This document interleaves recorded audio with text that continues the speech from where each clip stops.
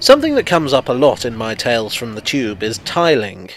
Specifically, the individual tiling patterns that you get on the old Bakerloo, Piccadilly, and Northern Line platforms. Colourful tiling patterns like these are one of the Underground's many visually distinctive elements. They date back to the era when the Piccadilly and Bakerloo lines and the Charing Cross branch of the Northern Line were being built. These three lines were owned by Underground Electric Railways of London and were built with a common aesthetic, what we would now call a corporate identity. Every station at platform level would incorporate a tiling pattern unique to that station. In the video on Hyde Park Corner, I said that these were either just some nice decoration or they were there to help regular passengers identify their station. A number of people in the comments section suggested that they were also there for the benefit of illiterate passengers. And that's a thing I've heard suggested a lot, but I'm not sure that it's correct. So let's talk a little bit about literacy. We tend to think of widespread literacy as a recent thing, which it is, relatively speaking. At the start of the 19th century, estimates put the literacy rate at 60% for men and 40% for women in Britain. Far from universal. But what you have to bear in mind is that as the Industrial Revolution progressed, it would have been harder and harder to function without some level of literacy. The new industries that sprang up required paperwork and the ability to communicate over distance. There were letters to be sent, forms to be filled out, labels to be written, edicts from management to be read.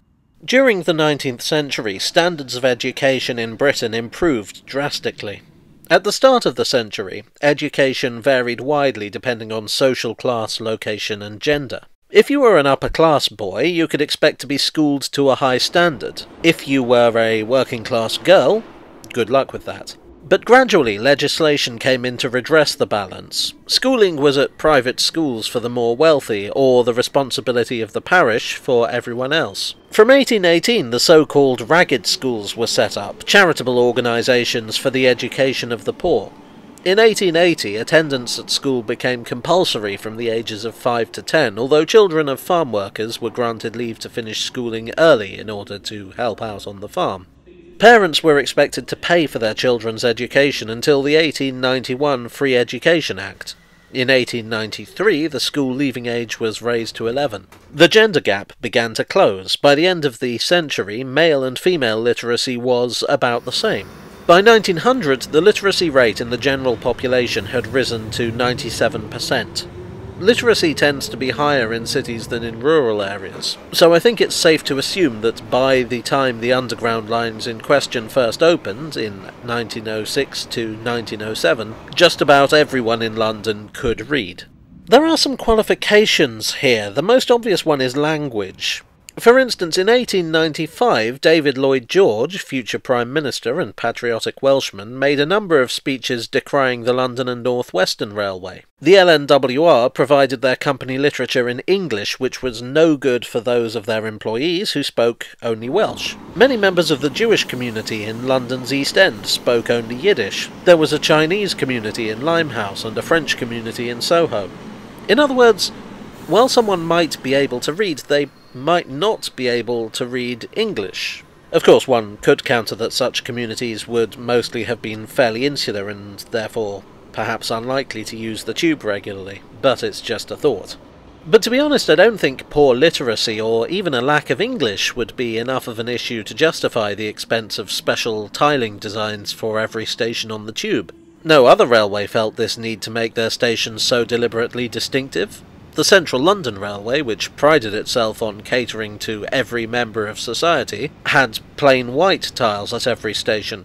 We might also point out that while patterns might make the station recognisable, it isn't much use if you don't know which station it is in the first place. Or if you don't know that every pattern is unique, it's not something mentioned in contemporary underground publicity, and it might not be something you notice particularly if you're not a regular commuter.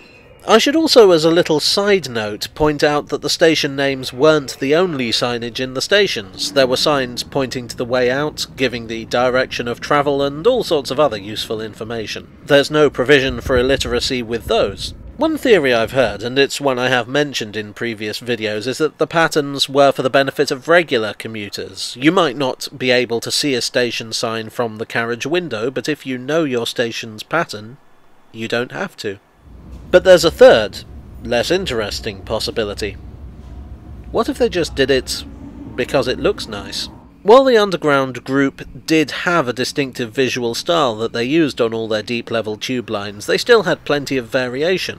If you look at Leslie Green's stations, the oxblood coloured buildings he designed are similar, but every one is different. If that philosophy was applied at platform level, then you might well get something like the similar but different patterns we have now. Ultimately, I guess it's always going to be a bit of a mystery unless someone turns up a definitive policy statement.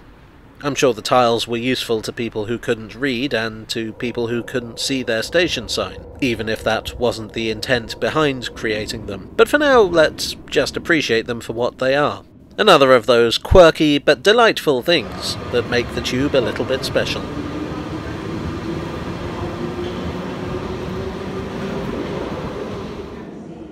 Hello all, I hope you enjoyed this functionally literate tale from the tube. If you did, then a like would be much appreciated, and you can subscribe for more on the history of the tube and other things that take my interest. Which theory do you favour for the tiles? Let me know in the comments section, and fortunately I am literate enough to be able to read most of them. Thanks as ever to my donors on Ko-fi and Patreon for their generosity. You are the free education act to my bumbling illiteracy.